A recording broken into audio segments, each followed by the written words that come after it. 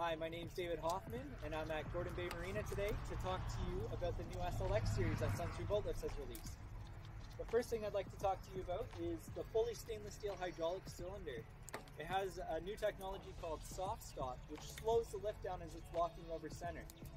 The second feature is a fully stainless steel hydraulic hoses to increase the durability and length of time that the hydraulic system will last underwater. And the third feature I'd like to highlight is the fully adjustable H-frame. It allows us to adjust the H-frame on the fly so that way your boat fits perfect every single time. And those are the three features I'd like to talk to you about today.